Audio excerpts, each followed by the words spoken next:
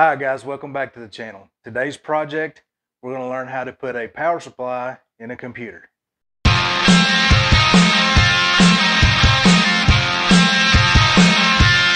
Let's get started.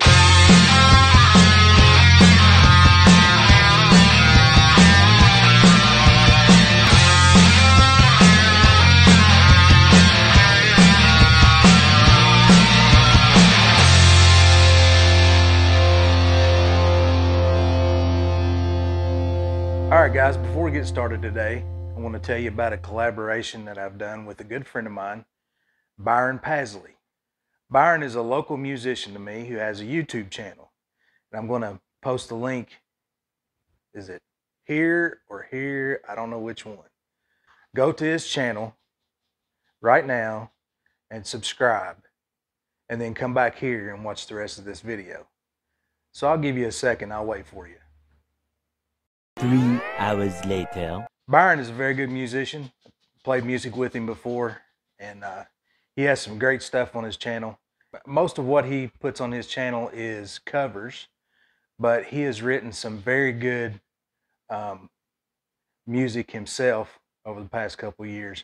Maybe one day he'll share some of that with us on his channel. So get to work, Byron.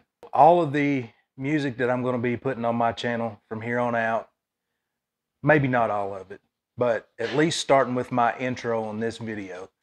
Hopefully pretty soon, all the music on my channel will be original music by Byron. I really appreciate his efforts, so make sure you head on over to his channel and give him a subscribe. So today's project, we're going to be working on this old computer. Now this is one that I've had hooked to my network at my house for quite a few years. And it has a bunch of pictures on it. I mean, there's like tens of thousands of pictures on this computer. It's got a couple of uh, terabyte hard drives in it, so that's the main thing I used it for was just storing stuff on it that could be accessible from other computers on our network. This thing uh, a few years ago, and yes, it has been that long, um, decided to bite the dust. No power, no nothing, won't do anything. And the pretty sure the power supply is bad in it. And so I've got another power supply here uh, that hopefully will work. And I'm going to put that in there and we're going to see if that takes care of the problem. So most of these old desktop type PCs uh, come apart either from a panel on the side or the um, screws in the back that you take out. The object is to get this metal cover off. In this particular case on this Dell, it has a little piece in the back that you push down and then the cover slides off. So the power supply for most of these old PCs is just a box. There's where your cord plugs in at. And they have all these cables coming out the end of them. So to get these out, there's a couple of screws. This one has four in it that hold the power supply inside the case. You just take those screws out. Uh, make sure it's unplugged. I don't know if I need to say that or not, but if you don't know to unplug the computer before you're uh, opening the case, you probably will need to be replacing the power supply.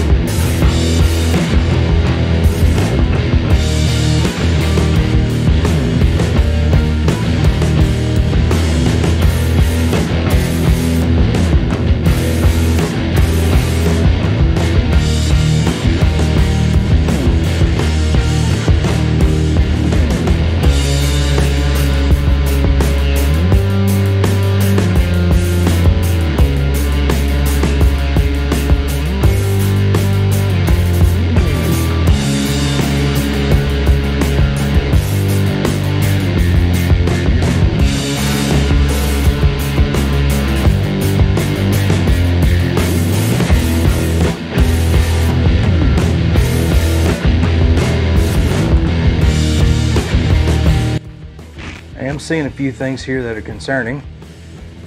Um, hopefully the motherboard is not bad and what's causing the issue, but I have a capacitor right here that the top is swelled up on it. When these capacitors get old and a lot of the electrolytic fluid uh, is gone out of them, they'll bubble up on the top.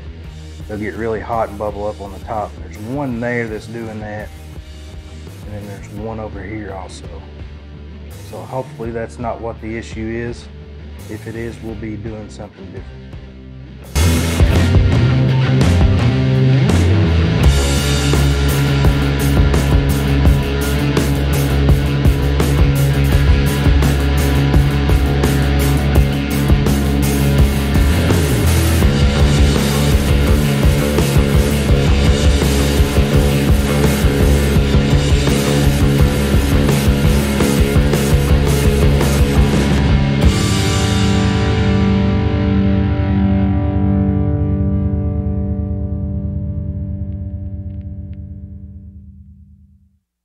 Once you get the screws out, the cable's undone, this just comes out the top.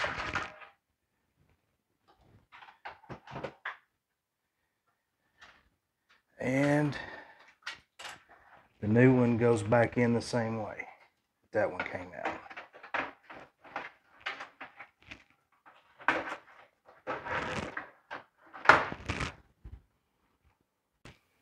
All right, let's see if we can get these plugged back in.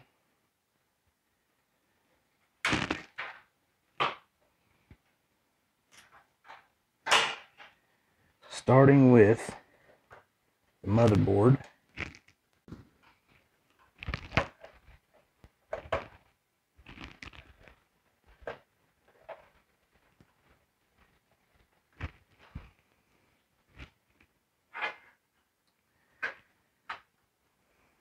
And then the plug for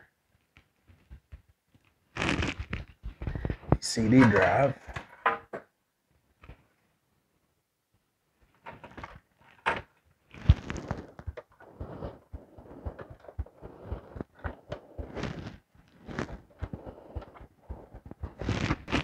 And then we have the plug for this hard drive.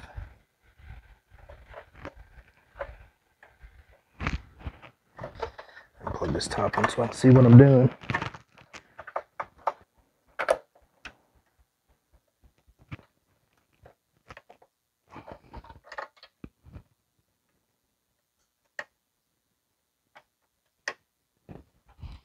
And then we'll need one these. Also plugs into if you can see that or not but plugging it into this hard drive.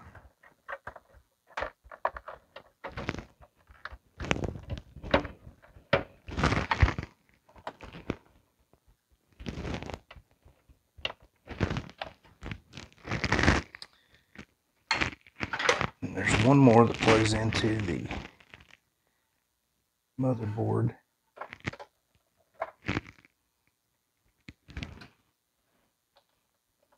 Right there. I think that's got everything.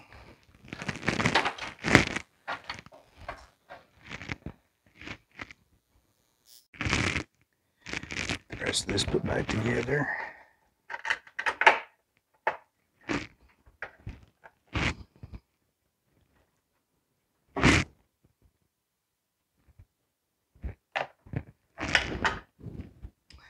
All right, before I put the cover on, I'm going to test it.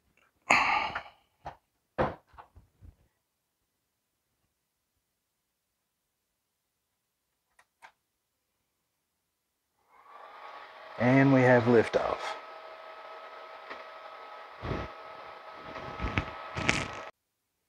All right, guys, I won't bore you with the process of getting all of the stuff off of it and putting it on something else, but hopefully this helped you in some way if you've got a computer that won't power up could be just a power supply.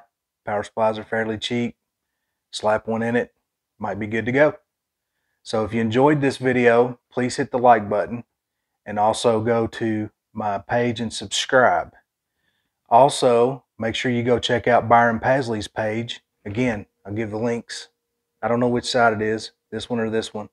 There'll be a link and also in the description a link to his page. Go check him out, give him a follow, and listen to some of his music. Thank you guys. See you later.